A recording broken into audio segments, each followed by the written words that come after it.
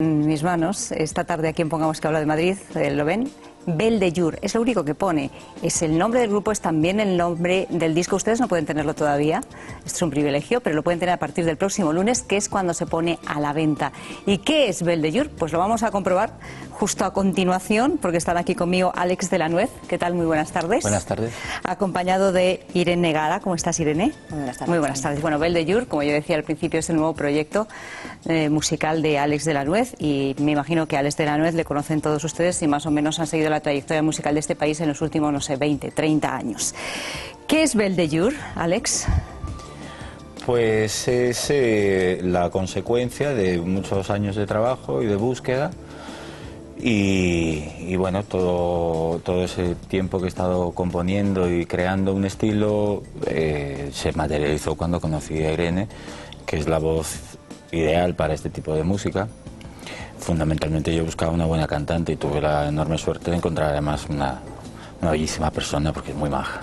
Así, oye, pues qué suerte, Pues, guapa ¿no? la pobre, pues no mucho. O sea, que lo tiene todo, además, ¿no? Entonces, Irene, pero vamos a ver, o sea, resulta que tú tenías en la cabeza este proyecto, pero hasta que no conoces a Irene no se concreta de verdad en lo que ahora es Bel de Jour. Mm, Sí, es que realmente yo eh, probaba muchas cantantes y había muchos problemas, a lo mejor no, no- incluso no dando demasiado la talla me ponían un montón de problemas y, y bueno, pues eh, se juntó el hambre con las ganas de comer. Ella vino a probar suerte a Madrid, nos presentó una persona por pura casualidad, porque ella es muy cabezota y se iba a todas las productoras Yo es que soy de Barcelona y vine justamente a Madrid pues a buscarme la vidilla A como la todos, vida, de sí. cantante, de presentadora, pues soy periodista también, entonces, bueno, pues iba en O sea, tú eres de las que llamas a todas las puertas. No, no, yo llamo a las puertas de la música y del periodismo, ¿no? O sea, parece que son muchas, pero en realidad son pocas. Sí, sí, pero insistes, insistes, Pero insistes. justamente es, yo creo que es mm, la única vez en mi vida que he llamado dos veces a la misma puerta, porque yo soy muy, como ya dice él, muy cabezota y al final. Pero a esa productora llamé dos veces y fue la segunda vez justamente cuando esa persona nos puso en contacto. Y a partir de ahí, ¿qué pasó? Y a Irene? partir de ahí, pues, pues un café, un café con Alex para hablar un poquito de- del proyecto que tenía en mente y así empezó todo y ha ido rapidísimo. O sea, que conectasteis inmediatamente. Sí, inmediatamente, la verdad es que es eso. o sea, que es una gran cantante. Y además no solo, sino que también ella aporta, es muy, es muy, ¿cómo se dice? Eh, que cuida mucho los detalles. Entonces, eh, muy exigente al nivel técnico musical y todo eso. Entonces, pues me ha ayudado mucho. Muy perfeccionista. Muy perfeccionista. Pero Es este que es es un demasiado. disco muy especial en el sentido de que, bueno, eh, no sé, es que empezar a describirle a los oyentes antes de que lo escuchen realmente a qué suena, pues tampoco parece buena idea. Pero lo que sí es verdad es que no suena a nada parecido a lo que ningún grupo español esté haciendo en este momento. Esto es así, ¿no? Sí, pero es una música que para bajo mi punto de vista es bastante comercial y Es funky, y- es- es bueno, rhythm es lo que blues, oías es en las discotecas música y puedes negra. seguir oyendo, sí. ¿Eh?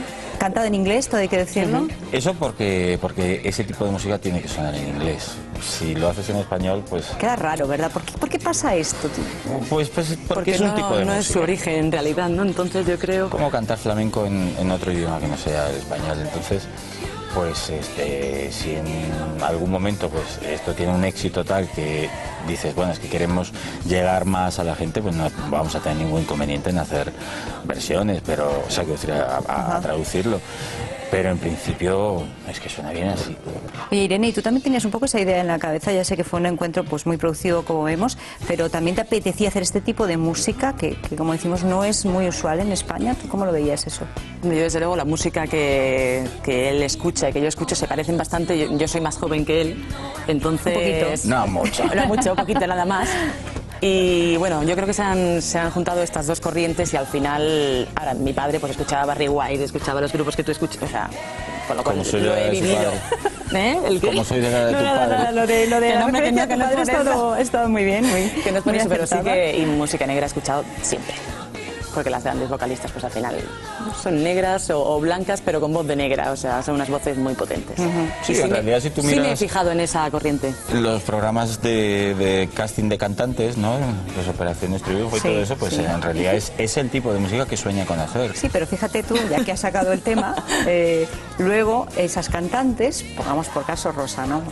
Que efectivamente podrían tener ese registro, a la hora de hacerles un disco, hay problemas, ¿no? Sí, pero, pero ahí vamos a ver, hay que respetar los criterios de, de los productores, de las compañías de discos y hay que respetarlos. Pero y en les hago ni caso. Por eso me lo autoedito. Y por Porque si eso, tuviera claro. que estar pendiente. Es que eso es un absurdo. Siempre están pendientes. Es que esto va a funcionar, esto no va a funcionar. ¿Qué más da? Nunca sabes. De repente Tal como está funciona. en la música, además. Y tal como ha estado siempre. Todos los éxitos siempre han sido una sorpresa. Uy, pues nadie se podía imaginar. ¿Entiendes? O sea, desde Mecano. Mecano sacaron, hoy no me puedo levantar y durante tres meses no pasó absolutamente nada y lo metieron en el cajón y se olvidaron y de repente empezó a funcionar solo. La música buena acaba funcionando, sí, claro, lógicamente sí tiene un mínimo apoyo, porque si no sabes que existe... No, que suene pues en algún no. sitio, por lo menos, claro, para que la gente Claro, lo tiene que sonar un poco. Ahora tenemos más facilidades para que suene, al menos. Eh, ¿te refieres a internet? A ¿Te las redes. otras- A las sí. redes, las redes Pero es que antes sociales? ni eso, con lo Pero cual. formas estamos tocando. O sea, tú cuando decías y después de cuando dijiste Ah. después de conoceros y tal, pues lo que hicimos inmediatamente fue montar una banda y tocar. Sí, sí. Hemos hecho todo, una gira por todo lo ancho y, y- y- y largo de Madrid.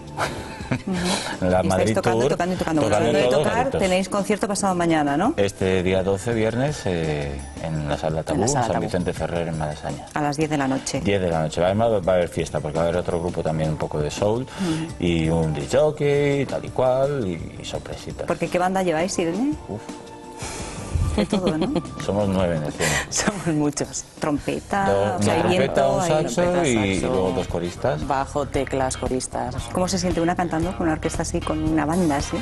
Pues muy apoyada para empezar, porque si tuviera que salir sola me, me muero, vamos, soy muy vergonzosa, entonces necesito Pero- que estén conmigo y que haya allí una un lujo, ebullición ¿no? de, de buenas energías. es un lujo, pero es un mandona, si Yo tengo una mala leche. Uy, ya hemos tenido hoy bronca en el ensayo. Hoy en el ensayo, antes de venir aquí. Claro, si es que si no se ponen las pilas, pues imagínate. Bueno, es Beldejur. El disco, eh, no sé, esperemos que se venda, ya sabemos lo que estábamos comentando, se venderá o no se venderá. Lo importante es que se escuche mucho, pero si ustedes lo quieren se pone a la venta el próximo lunes y en cualquier caso dentro de dos días ese concierto en la sala Tabú.